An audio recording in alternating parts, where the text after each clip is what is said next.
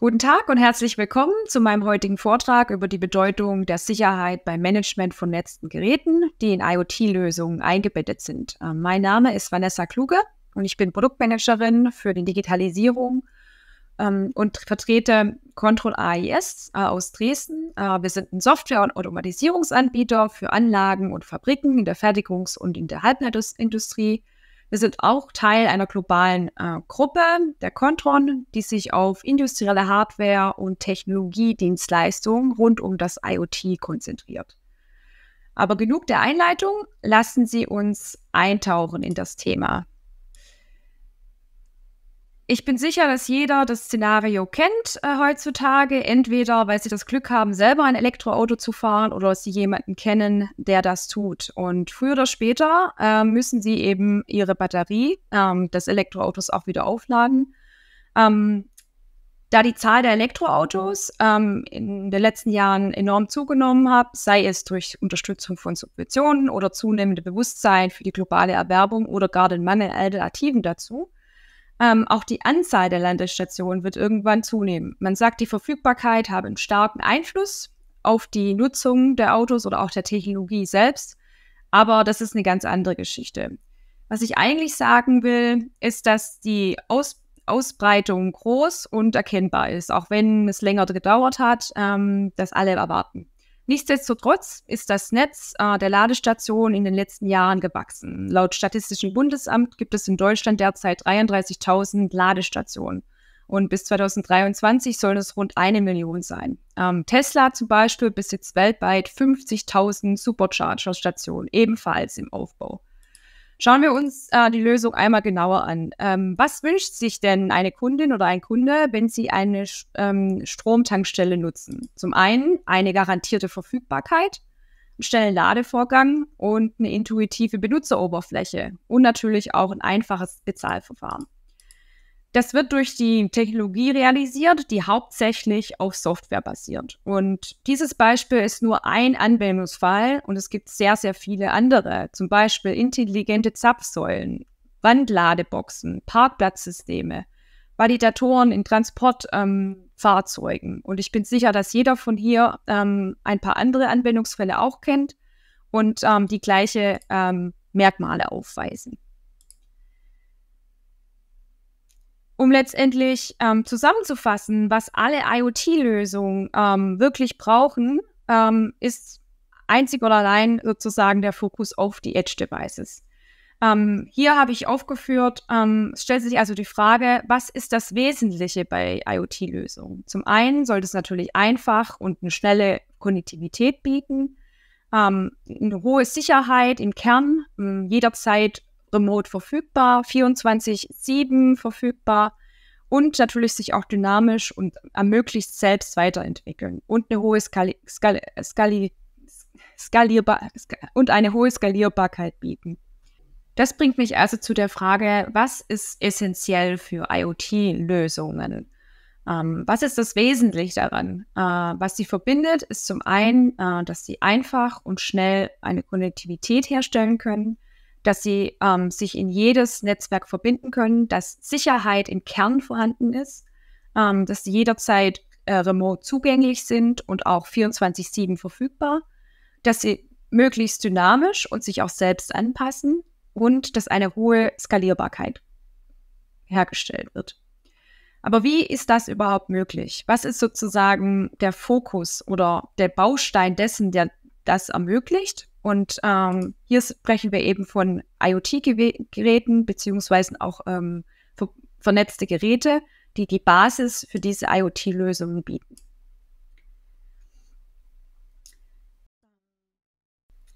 Ja, wenn wir jetzt darüber nachdenken, ähm, wie ist es möglich, IoT-Lösungen letztendlich auch bereitzustellen, da stehen wir immer vor großen Herausforderungen, ähm, die vor allem auf die Sicherheit ähm, sich beziehen. Welche Sicherheitsprobleme oder Herausforderungen sich ergeben, wenn beispielsweise verbundene Geräte ähm, in IoT-Lösungsanbietern oder von Komponenten oder Geräteherstellern genutzt werden?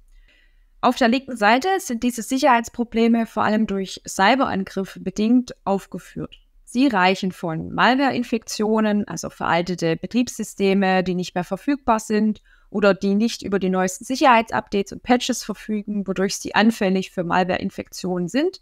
Und diese Infektionen können zu Datenverletzungen oder Systemkompromittierungen führen. Darüber hinaus beispielsweise Datendiebstahl, das heißt, Angreifer können Schwachstellen in veralteten Betriebssystemen ausnutzen, um sensible Daten zu stehlen. Diese kann zu Datenschutzverletzungen, finanziellen Verlusten oder gar Schädigungen des Rufs eines Unternehmens führen. Mangelnde Kompatibilität mit neuen Sicherheitstechnologien. Neue Sicherheitsfunktionen sind nicht mit älteren Betriebssystemen kompatibel, sodass sie anfällig für Angriffe sind. Moderne Sicherheitslösungen und Protokolle funktionieren auf Altsystemen möglicherweise nicht wie vorgesehen. Regelmäßige automatische Aktualisierung. Diese Updates sollen die Geräte auf den neuesten Sicherheitspatches, Fehlerkorrekturen oder neue Funktionen auf dem neuesten Stand halten. Diese automatischen Updates können jedoch auch eine Gefahr für den Betrieb kritischer Anwendungen darstellen, da die Kompatibilität neuer Updates nicht immer gewährleistet werden kann. Dies gilt insbesondere für Anwendungen, die stark angepasst sind oder spezielle Hardwareanforderungen haben. Ausnutzbare Hintertüren. Ältere Hardware-Systeme können Sicherheitslücken aufweisen, die nicht mehr an den modernen Standards entsprechen, zum Beispiel Standardpasswörter, die viele Unternehmen nicht aktualisiert haben. Auch Schlupflöcher oder Schwachstellen in Betriebssystemen sind ein weiterer Grund. Cyberkriminelle können Schwachstellen in veralteten Betriebssystemen ausnutzen, um sich unbefugten Zugriff auf Computersysteme zu verschaffen. Und dieser unbefugte Zugriff kann zu Datenverletzungen oder Systemkompromittierung führen. Und last but not least, ähm, Denial-of-Service-Angriffe. Angreifer können Schwachstellen Betriebssystem ausnutzen, um DOS-Angriffe zu starten. Bei diesen Angriffen werden wiederholt gefälschte Anfragen gesendet, um das System zu überlassen, was zu Unterbrechungen der Dienste und der potenziellen finanziellen Verlusten führt. Art, diese Art von Cyberangriff, der zieht darauf ab, einen Computer, Server oder auch ein Netzwerk für den vorgesehenen Benutzer unzugänglich zu machen, indem er den normalen Betrieb des Geräts unterbrochen wird. Und ähm, der häufigste Grund für die DOS-Angriff ist dann die Überlastung des Datennetzes. Auf der rechten Seite stehen jedoch auch andere Herausforderungen ähm, anderen Ausmaß bereit, um die sich beispielsweise ein Chief Information Officer oder ähnliches Personal kümmern müssen. Wie zum Beispiel Lücken in der Authentifizierungs- oder Datenschutzkompetenz. Ähm, darunter fallen zum Beispiel unsichere Schnittstellen, Authentifizierung ist der Schlüssel, unzureichender Datenschutz, also unsichere Kommunikation und Datenspeicherung, IoT, Kompetenzlücken, schlechtes IoT-Gerätemanagement. Das heißt also eine Schatten-IoT, die nicht verwaltet wird oder die unbekannt und, oder sogar nicht autorisiert ist. Die Frage ist also, wie diese Herausforderungen gelöst werden können. Die Antwort ist einfach, indem Sie eine ähm, angeschlossene Geräte effizient und sicher verwalten. Äh, berücksichtigen ähm, wir die Cybersicherheit, sorgen Sie für Zugäng Zugänglichkeit und Konnektivität. Überwachen Sie den Zustand der Geräte, ermöglichen Sie einen, ähm, deren Wartung und den gesamten ähm, Lebenszyklus.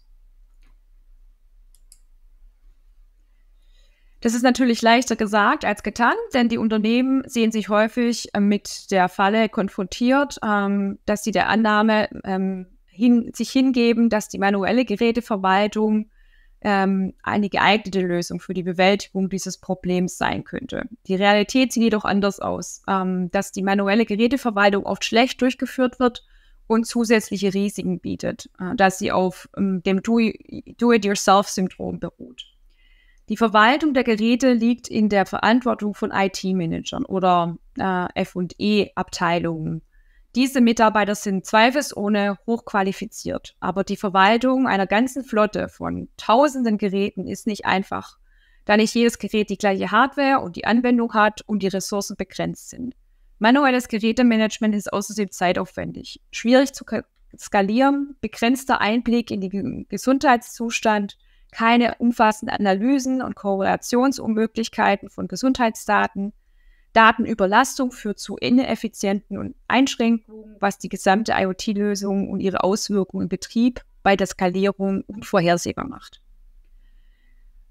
Die Vorteile und äh, die Schmerzpunkte, die letztendlich IT-Manager, Service und Support oder auch ähm, gerade Chief Digital Officer Betreibens gehören zum Beispiel die Minimierung der Komplexität für IT-Teams, ein 24-7-Übersicht über die global verteilten Geräteflotten oder auch eine sichere Verschlüsselung von Anwendungen Ende zu Ende. Eine kontinuierliche Bereitstellung im laufenden Betrieb. Darüber hinaus wollen natürlich auch Kosten für Hardware und Installation und Wartung ständig reduziert werden. Die Zeitersparnis durch effektive Fehlersuche oder auch unmittelbare Supporttiefe bis auf die SBS-Ebene. Und ein proaktives und vorausschauendes Handeln für das gesamte Service-Team. Was Chief Digital Officer betrifft, ähm, spielt vor allem die Monetarisierung von Softwarelizenzen und auch kundenspezifische Anwendungen im Vordergrund oder auch die Steigerung des Maschinenumsatzes durch digitale Services. Darüber hinaus kann man sich durch ähm, den Einsatz von ähm, nicht manuellen Gesch Gerätemanagement auch beispielsweise sich vom Wettbewerb abheben und dadurch einen erhöhten und beschleunigten Time to Market ermöglichen.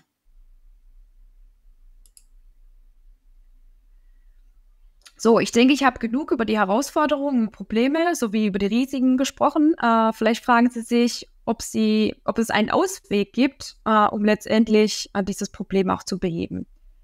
Und äh, ich habe tatsächlich auch eine Lösung mitgebracht. Um sichere IoT-Lösungen bereitzustellen, möchte ich Ihnen einige Schritte und Maßnahmen nennen, die Sie berücksichtigen sollten. Was sind, was sind die Sicherheitselemente, die Sie beachten müssen? Also erstens ist dass ähm, die Sicherheit durch ähm, ein uh, Security by Design zwingend notwendig. Security by Design ähm, auf allen Ebenen, vom Gerät über, gesam über das gesamte System, über das Netzwerk bis zu den verwendeten Anwendungen und Cloud-Diensten, wie es hier über die Säulen dargestellt ist. Was bedeutet ähm, Security by Design? Im Grunde sind das ähm, drei verschiedene Begrifflichkeiten, die da runterfallen. Das ist zum einen die Vertraulichkeit, also der Schutz vor unberechtigtem Zugriff auf Informationen, die Integrität, ähm, Schutz vor unbefugten Veränderungen von Informationen und letztendlich die Verfügbarkeit, also der Schutz vor der Verweigerung des Zugriffs auf Informationen. So, Hand aufs Herz, können Sie das wirklich auf allen Ebenen leisten? Und äh, wo liegt die Kernkompetenz der Hersteller von Geräten und, Kom äh, und Komponenten?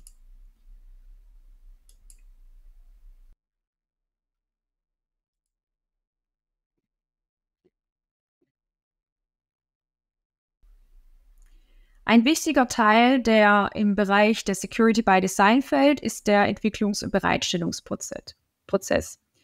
Äh, dieser reicht von, ähm, wie gesagt, dem Entwicklungsprozess. Ähm, hier ist es wichtig, dass man Erfolg durch aktives Projekt- und Produktmanagement nach Scrum durchführt, dass man eine schnelle Entwicklung für neue Features ermöglicht, ähm, beispielsweise auch automatisierte Bildprozesse nutzt, um letztendlich auch ähm, einen Continuous Integration Prozess darzustellen um so auch kurze Entwicklungszyklen gewährleist zu gewährleisten. Automatisierte Tests ermöglichen die Bereitstellung äh, einer Version innerhalb kurzer Entwicklungszyklen von beispielsweise zwei bis drei Wochen. Auch der Deployment-Prozess ist dabei ähm, wichtig. Beispielsweise ist es dort ähm, essentiell, skriptbasierte Infrastrukturen zu nutzen, um schnelle Reaktionen auf Veränderungen oder Anforderungen der Integration und Szenarientests mit Risikobewertung zu nutzen oder auch ein automatisierter Rollout äh, neuer Versionen auf alle äh, Staging-Systeme. Beispielsweise man nutzt hier einen Testserver, ein Spiegelsystem oder auch ein Produktivsystem. Und so kann man erfolgreich ähm, schrittweise nach jedem erfolgreichen Test ein weiteres System ausrollen. Auch eine codierte Infrastruktur, Skriptkonfiguration auf dem Team Foundation Server oder auch ein paralleler Rollout auf mehrere Server ähm, sind hier ähm, gewisse Voraussetzungen und äh, Maßnahmen, die hilfreich sind. Ähm, vollständige Über eine vollständige Übersicht über die installierten Versionen auf jedem Server ähm, sind sehr hilfreich. Auch ein Logging zur Erstellung von Netzwerkstatistiken, zum Beispiel der IP-Adresse bei Sicherheitsscans, ähm, beziehungsweise wenn beispielsweise dort auch sehr viel Traffic erzeugt wird, um das letztendlich auch nachvollziehen zu können. Auch Vertrauensbereiche sind hier sehr wichtig, also Genehmigungsprozess nach dem Vier-Augen-Prinzip. Weitere Maßnahmen sind beispielsweise Performance- und Trendanalysen ähm, sowie die Überwachung von Systemparametern zur Vermeidung von Unterbrechungen des Produktivsystems beim Rollout oder auch im Betrieb. und nicht zuletzt Tests von SSL-Zertifikaten, um zu vermeiden, dass bei abgelaufenen Zertifikaten der Browser nicht mehr aufgerufen werden kann. Äh, dafür werden dann beispielsweise auch Sicherheitsüberprüfungen, beispielsweise von SSL Labs, ähm, verschlüsselt durchgeführt. Ein weiteres großes Thema, das bei der Entwicklung von sicheren IoT-Lösungen beachtet werden muss, ist das Lieferantenmanagement. Der ein oder andere hat schon von dem Software Bill of Material oder auch SBOM ähm, gehört und ähm, dabei handelt es sich eben um ein ähm, Software Bill of Materials. Das hilft, Softwarekomponenten im Blick zu behalten und die Software-Lieferantenkette abzusichern. Äh, dazu gehören beispielsweise ähm, Kenntnis darüber, welche Komponenten eines Softwareprodukts und ihre Beziehung innerhalb der Softwarelieferantenkette beschreibt und auch klare Empfehl Handlungsempfehlungen ausgibt. Eine S-Bomb gibt es einerseits an, welche Pakete und Bibliotheken in ihrer Anwendung eingeflossen sind, andererseits auch die Beziehung zwischen diesen Paketen und Bibliotheken und anderen vorgelagerten Projekten. Das ist besonders wichtig, wenn es um wiederkehrenden Code gibt oder auch Open-Source-Komponenten eingesetzt werden. Früher wurde das offline und mit Excel oder gar Papier gemacht, äh, was meist sehr statisch ist und schwer zu verändern oder auch zumindest schwer zu erhalten. Heutzutage, wo wir buchstäblich von Schwachstellen umgeben sind, ähm, ist es kein angemessener Weg, damit umzugehen. Eine, eine, manuelle Nachverfolgung ist einfach unmöglich und nachlässig. Um ganz offen zu sein, weil Risiken nicht rechtzeitig oder meist gar zu spät erkannt werden. Stattdessen verwenden Hersteller Technologien oder auch Software, die sehr dynamisch ist und Datenbanken für CVE, Common uh, Vulnerabilities and Exposures oder die Aufzählung gemeinsamer Schwachstellen nachvollziehen zu können. Und diese Lösungen erhöhen das Bewusstsein und die Transparenz und erleichtern so auch die Problemerkennung. Das Mindeste, was sie also tun können, ist zu wissen, was der Status quo ist. Und das hilft schon einmal, um letztendlich auch Maßnahmen einleiten zu können. Zu guter Letzt ist ein weiterer wichtiger Schritt die Prüfung und Validierung. Ähm, hier sprechen wir beispielsweise von regelmäßigen Penetrations- und Überwachungsmöglichkeiten, Diensten und Systemen, die am Markt zuhauf verfügbar sind. Äh, man muss sie eigentlich nur nutzen. Auch Szenarientests äh, für jeden Restaufruf oder zumindest für vier verschiedene Testbenutzer beispielsweise für einen Admin, einen ungültigen Benutzer, Nichtbenutzer oder auch gültige Benutzer. Dann auch automatische Abfrage bei den Datenbanken, wenn neue Aufrufe vorhanden sind, aber keine Tests vorhanden sind. Äh, verschiedene Arten von Tests, Freigabetests für bestimmte Funktionalitäten. Je nach Wahrscheinlichkeit oder nach bestimmten Zeiträumen werden diese eben erzwungen. Ähm, für neue Funktionalitäten ist beispielsweise auch vorgeschrieben, dass man äh, bestehende Tests erweitert ähm, und so auch neue Tests äh, ständig ausbaut. Und äh, der Schwerpunkt liegt hier auf den Verhaltenstests von Funktionen und nicht auf dem Design oder der Benutzerfreundlichkeit. Wenn wir von Sicherheit sprechen, äh, führt kein Weg auch an den fortschrittlichen Cybersicherheitsvorschriften der EU Gesetzgebung vorbei, die entweder bereits in Kraft ist, wie beispielsweise die, die NIS. Das ist ein Netzwerk- und Informationssystem mit Fokus auf kritische Infrastrukturen wie Anbieter digitaler Dienste, Energie, Gesundheit, Verkehr, Banken, digitale Infrastruktur oder auch Finanzmarktinfrastruktur. Ähm, oder es gibt auch solche, die eben noch am Horizont sind und gerade in der Entwicklung. Äh, beispielsweise eines der wichtigen Gesetze ist der EU-Cybersicherheitsgesetz. Ähm, das ist ein EU-weiter Rahmen für die IT-Sicherheitszertifizierung von Produkten, Dienstleistern und Prozessen. Ich habe hier nochmal ähm, ein paar wichtige Standards, die vor allem für 2024 für ähm, Komponenten und äh, Gerätehersteller von Bedeutung sind, aber auch für Maschinenbauer. Und ähm, vier dieser Standards wollte ich jetzt hier nochmal äh, im Detail aufführen. Äh, beispielsweise den EU Data Act, der ist eine neue Verordnung, die einheitliche Regeln für den Zugang von Daten oder auch den Wechsel von Cloud-Anbietern und die Interoperabilitätsanforderungen in der EU festlegt. Und sie gilt ähm, sowohl für personenbezogene als auch für nicht bezogene Daten und zielt darauf ab, Hindernisse für die Nutzung und Weiterverwendung äh, nicht personenbezogener Daten, insbesondere von Daten, die von vernetzten Produkten und damit verbundenen Diensten erzeugt werden. Damit soll zum Beispiel der Zugang zu Daten und Verbraucherrechten ähm, geregelt werden, Förderung des Wettbewerbs im After-Sales-Markt, Datensicherheit und Standardbeschränkungen äh, ermöglicht werden. Und die Quintessenz daraus ist ähm, eine erhöhte Compliance-Verantwortung. Ein weiterer ähm, Standard ist der European Cyber Resilience Act. Das ist ein Vorschlag für einen Rechtsrahmen zur Festlegung von Anforderungen an die Cybersicherheit von Hardware- und Softwareprodukten, die in der Europäischen Union in Verkehr gebracht werden. Und das soll sicherstellen, dass die Hersteller die Sicherheit während des gesamten Lebenszyklus eines Produkts ernst nehmen und die Bedingungen schaffen, die es Nutzerinnen ermöglichen, bei der Auswahl und Nutzung von Produkten mit digitalen Elementen die Cybersicherheit zu berücksichtigen. Und äh, Meilensteine erster Gesetzentwurf sind bereits vorhanden, der sich speziell mit, dem, mit der Cybersicherheit von Produkten mit digitalen Elementen auseinandersetzt. Und hier liegt der Fokus vor allem auf dem Security by Design Konzept, was ich eben schon vorgestellt hatte, oder auch der Herstellerverantwortung über den gesamten Lebenszyklus. Spezielle Sicherheitsanforderungen für IoT-Geräte, also dem Schutz der personenbezogenen Daten und finanzieller Daten und auch ähm, Produktkategorien und Bewertungsverfahren. Und die Quintessenz daraus ist, dass man eine tiefgreifende Veränderung in der Art und Weise, wie sich digitale Produkte entwickeln, auf den Markt bringt. Und er wird Hersteller zu verpflichten, die Sicherheit von Produkten mit digitalen Komponenten von der Entwurfs- und Entwicklungsphase an über den gesamten Lebenszyklus zu verbessern und einschließlich Hardware- und Software-Updates und neue Versionen auf den Markt zu bringen. Bei all diesen ähm, Standards ist ein wesentlicher Punkt zu berücksichtigen. Ähm, sie entwickeln sich immer weiter. Ähm, die stehen nicht still. Ein gutes Beispiel ist, der, ist die nächste Richtlinie, die NIS-2-Richtlinie. Ähm, um es klar zu sagen, ähm, Sie als Hersteller sind verpflichtet, diese umzusetzen. Das Hinarbeiten auf die Einhaltung ist nicht, nicht zu vernachlässigen, vor allem wenn Ihre Anwendungen in kritischen Umgebungen stattfinden und es gibt ähm, nicht viel Zeit, zu verlieren, sondern es ist Zeit zu handeln. Die einzige Möglichkeit, sich äh, dem zu entziehen, besteht darin, keine vernetzten Geräte und Lösungen zu verwenden. Aber dies ähm, steht außer Frage.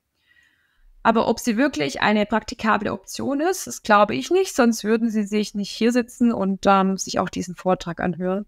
Und deshalb ähm, auch noch mal ein paar Punkte zu der NIS-Richtlinie, die sich ähm, mit dem Netzwerk und Informationssicherheit betrifft ist auch eine EU-weite Rechtsvorschrift, die rechtliche Maßnahmen zur Verbesserung des allgemeinen Niveaus der Cybersicherheit in der EU vorsieht, indem sie Bereitschaft und Zusammenarbeit zwischen den Mitgliedstaaten sicherstellt und die wichtigsten Akteure in den Schlüsselindustrien verpflichtet, Sicherheitsmaßnahmen zu ergreifen. Ähm, auch hier ist ein breiter Anwendungsbereich. Ähm, besonders ist, dass ähm, der, die Sektoren hier auch nochmal erweitert wurden in dieser neuen Richtlinie. Es wird hier zwischen der Art der Einrichtung, also wesentlich und wichtig unterschieden, als auch der Unternehmensgröße und dem Umsatz. Und ähm, Sicherheitskontrollen und Überwachung gemäß dieser NIS-2-Richtlinie soll dazu führen, dass beispielsweise die Priorisierung der Sicherheit in der Lieferkette gewährleistet ist, dass ein Fokus auf das Risikomanagement ähm, gestellt wird und man eine verstärkte Zusammenarbeit mit IT-Dienstleistern fokussiert. Ähm, die letzte ähm, der wichtigen Richtlinien ist äh, die EC 62443. Das ist eine internationale no Normreihe, die sich mit der Cybersecurity für die Betriebstechnik in Automatisierungs- und Steuerungssystemen befasst. Und sie enthält Richtlinien für die Absicherung von industriellen Steuerungssystemen und wurde ursprünglich für die industriellen Prozessindustrie entwickelt, ist aber mittlerweile eine Vielzahl von Branchen anwendbar. Die Standards verfolgen einen risikobasierten Ansatz zur Cybersicherheit und bieten einen Rahmen für die systematische Bewertung, Minderung und das Management von Cybersicherheitsrisiken im industriellen Automatisierungs- und Steuerungssystemen, um die Zuverlässigkeit und Sicherheit kritischer industrieller Prozesse und Infrastrukturen sicherzustellen. Ähm, ist damit auch ein wichtiger Leitfaden für Herstellerbereich der industriellen Automatisierung, um den wachsenden Herausforderungen im Bereich der Cybersicherheit zu begegnen. Ähm, sie ist aufgeteilt in vier Teile: uh, General, Policies and Procedures, System and Component Components und System Requirements. Und ähm, daraus ergeben sich drei Tipps. Ähm, zum einen sichere, ein sicherer Entwicklungsprozess in den Mittelpunkt zu stellen, regelmäßige Schulungen der Mitarbeiterinnen durchzuführen und auch die Erwägung eines Edge Device Managements. So, dann lassen Sie uns mal einen Reality-Check durchführen. Ähm, ist das, was ich jetzt alles aufgeführt habe, an Maßnahmen und Sicherheitstipps, ähm, ist das tatsächlich machbar für äh, ein vorgenanntes Team an ähm, IT-Managern? Ähm, Gerade wenn man daran denkt, dass ähm, wir das Beispiel der Ladestation, wenn es sich um Zehntausende von hochleistungsfähigen Ladestationen handelt, das alles umzusetzen. Ich behaupte erstmal nein, denn die Kernkompetenz des Hersteller liegt ähm, in der Anwendungsentwicklung. Und hier gibt es ähm, zahlreiche Lücken, die eben noch ge geschlossen werden müssen. Zum einen braucht man Kenntnis über die, die Hardware, man braucht Fachwissen über eingebettete Software, ähm, Kenntnisse über die Netzwerksicherheit und mehrschichtiges äh, Konnektivitätskonzept. Das alles äh, zu stemmen, ist fast unmöglich. Was unser Team jedoch, ähm, wo sie, wo unser Team sozusagen sie auch unterstützen kann, äh, ist ein automatisiertes Gerätemanagement, das äh, folgende Vorteile bietet, um Ihr Unternehmen zukunftssicher zu machen. Ähm, das ist zum einen datengesteuerte Analyse und Entscheidungsfindung, verbesserte automatisierte Abläufe, erhöhte Sicherheit, nahtlose Konnektivität und eine gesteigerte Effizienz. Wie bekommen wir das hin? Ähm, eine mögliche Lösung, äh, die ich hier hervorheben möchte, ist das Carport. Das ist eine komplette Flottenmanagement-Lösung für Edge-Devices, ähm, die die Contron in den letzten zwei Jahren entwickelt hat. Ähm, sie besteht aus ähm, fünf Schlüssel-Services, die die Lösung letztendlich ausmacht und reicht von Device-Management über ein sicheres Betriebssystem, das sich Contron OS nennt, und auch eine Docker-Management-Lösung. Ähm, vielleicht als passendes Beispiel Richtung Device-Management gedacht, also eine globale Überwachung der vorgenannten Ladestationen für Elektroautos das Gerätemanagement stellt sozusagen sicher, dass ähm, bei der Verwaltung einer Flotte von Ladestationen, insbesondere wenn diese Stationen über die ganze Welt verteilt sind, ähm, diese ähm, gut zu überwachen sind. Und die Erlösung erleichtert die Verwaltung, Überwachung und den Betrieb der Ladestationsflotten unabhängig von deren geografischer Verteilung.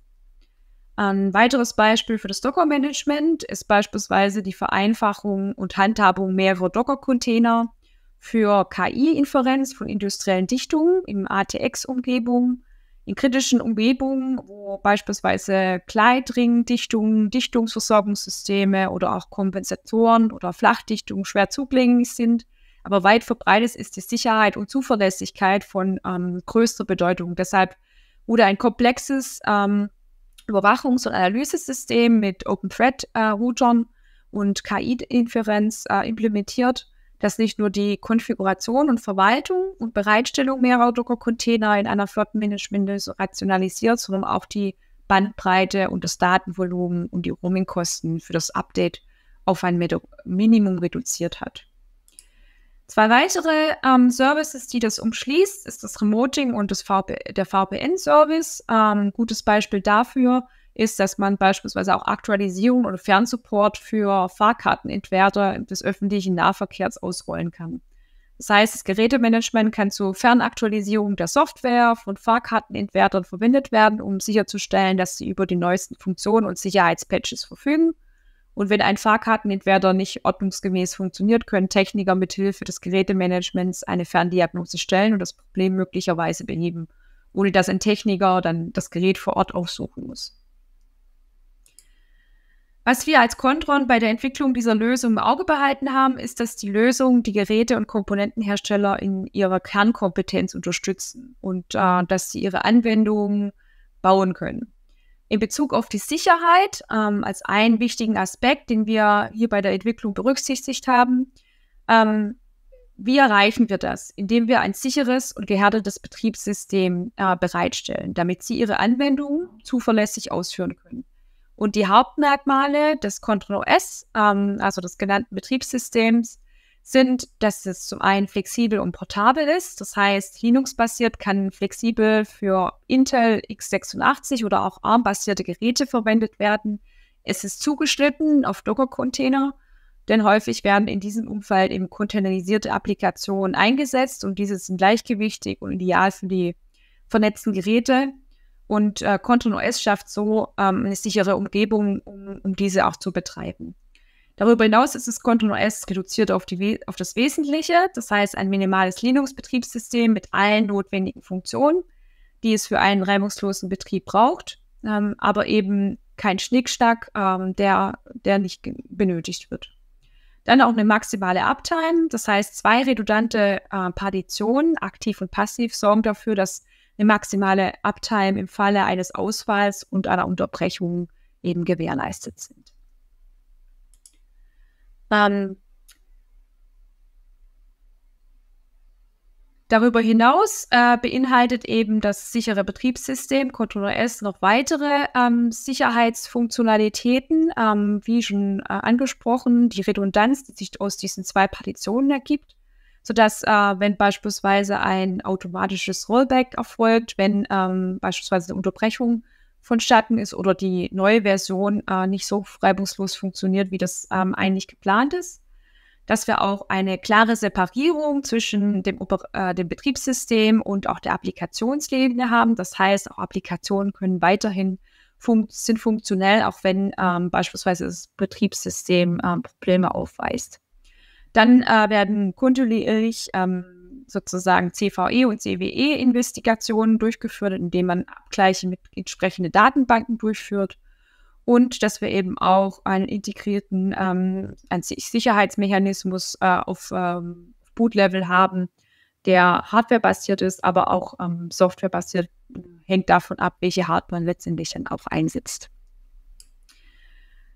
Genau. Ähm, ja, ein weiterer wichtiger Aspekt äh, in dem Bereich ist nicht nur die Sicherheit, sondern auch die Automatisierung, die letztendlich ähm, so ein automatisiertes Gerätemanagement auch mit sich bringt und was ähm, hier unglaublich weiterhilft. Ähm, äh, ich habe hier ein Beispiel mitgebracht, wie beispielsweise auch diese Applikationen aufgebaut sind. Das heißt, ähm, man kann über verschiedene Drag-and-Drop oder auch ähm, ähm, ja, Docker Compose ähm, Systeme diese Images äh, aufbauen und in ähm, einzelne Container verpacken, beziehungsweise auch Container-Sets äh, aufbauen, um letztendlich diese automatisiert auszurollen. Und ähm, dafür werden beispielsweise solche Vorlagen eingesetzt, die ähm, generell aufgebaut werden und dann auf verschiedene Geräte ähm, automatisiert ausgerollt werden. Werden denn Änderungen an diesen Templates vorgenommen, dann kann auch dediziert festgelegt werden, ähm, an wen diese Templates oder an welches Gerät diese Templates letztendlich auch wieder ausgerollt werden. Diese Templates bestehen damit also aus dem besagten ähm, Betriebssystem und auch ähm, dem jeweiligen Container oder auch dem Containerset.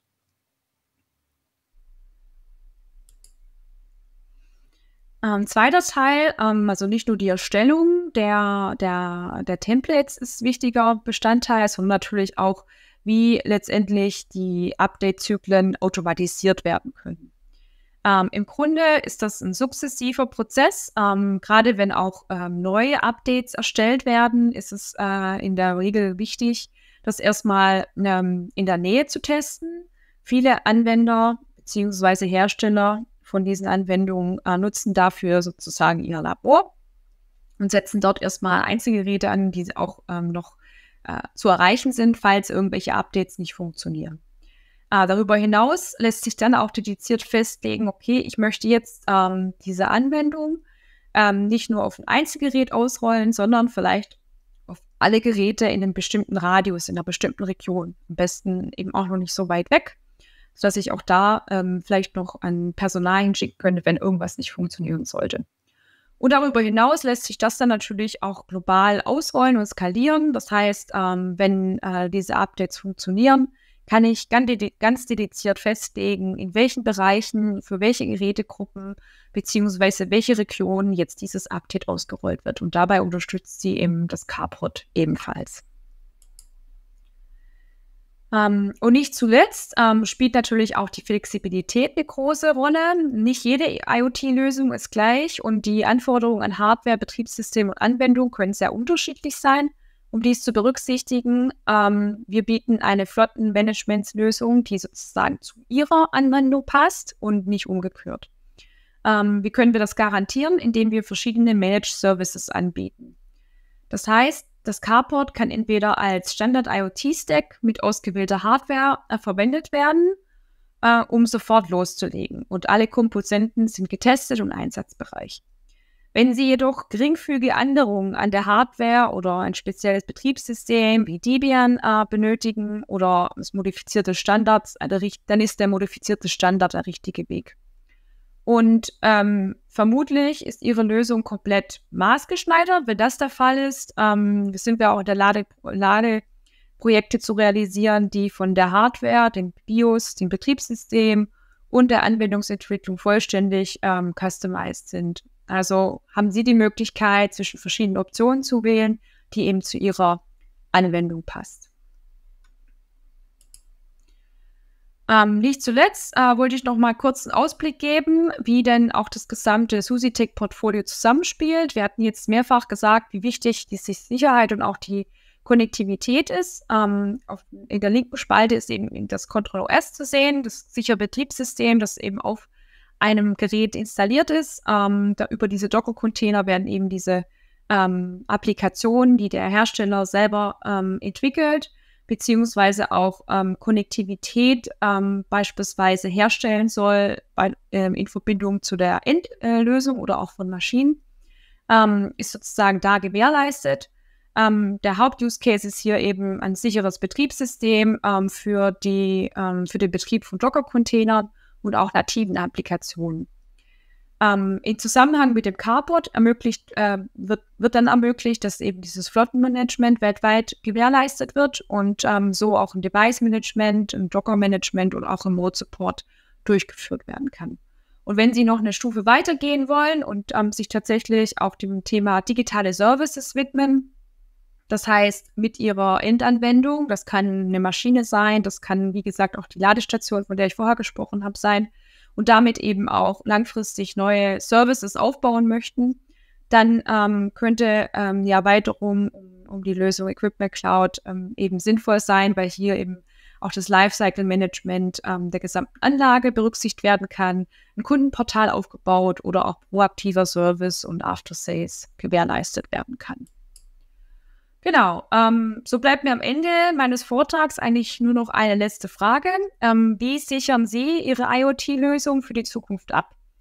Und äh, um es kurz und bündig zu machen, ähm, im Grunde geht es darum, Sicherheit im Kern zu haben, die Automatisierung im Herzen und Flexibilität im Kopf. Und damit möchte ich meinen Vortrag für heute beenden. Vielen Dank.